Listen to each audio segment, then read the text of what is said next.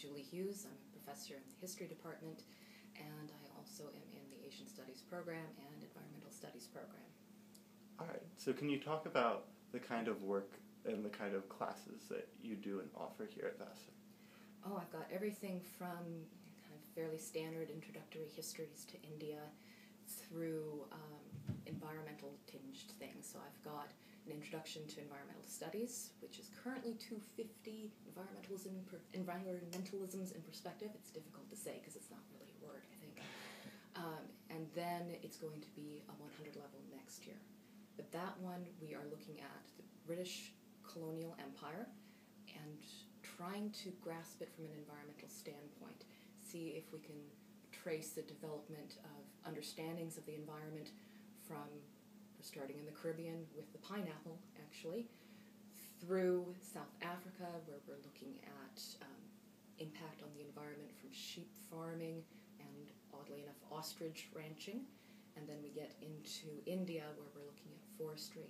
And we're seeing these very interesting shifts linking up with changes in understandings of climate, of how the atmosphere cleanses the environment or doesn't cleanse it, depending, um, through this very almost bureaucratic scientific engagement with the environment in India with a full blown colonial bureaucracy where they're really interested in the economic outputs, the ones they can really write down on paper and say we earned this much from our teak plantations, and a distancing away from the more scientific understandings of atmosphere, of what link these forests might have into that. And all these wonderful connections between scientific understanding, how colonialism and racism and interpersonal reactions, actions are, are working together, um, and then the environment itself. So right. I'm learning a lot. I hope the students are too, but I'm having a great time.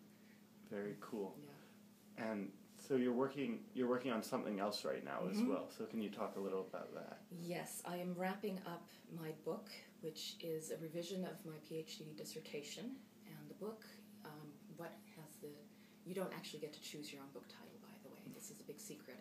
Um, it has to be chosen in consultation with your editor but i'm happy with mine. It's going to be animal kingdoms and then i can never remember the last bit. It's the part after the colon but it's something along the lines of hunting environment and power in the indian princely states.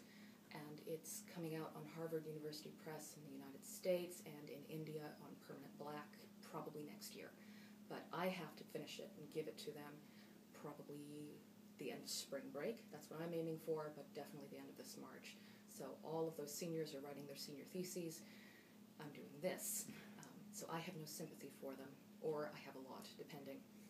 Uh, but the project, the book itself, what I'm doing in it is very similar to what I do in some of the classes in terms of the larger themes. But what I specifically do is I look at three locations in India, three princely states. So these are places that even throughout the British Empire in India, they were separately administered by independent Indian rulers who were still under a lot of regulation and control by, um, by the British, but they were nominally independent. And I focus in on their hunting reserves, on their hunting grounds, and how that space which is a very important space for their interactions with the British colonizers, with other Indian princes, other elites, and then with the nobles who are in their states underneath them.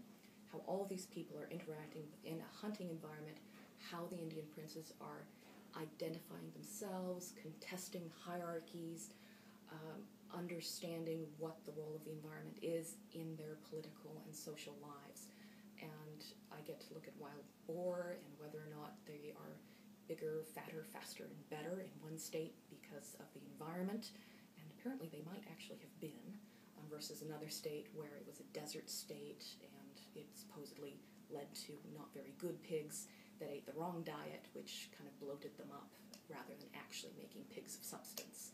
Um, they were eating beans. Yes you get to have fun in history is, is the point of that, I think.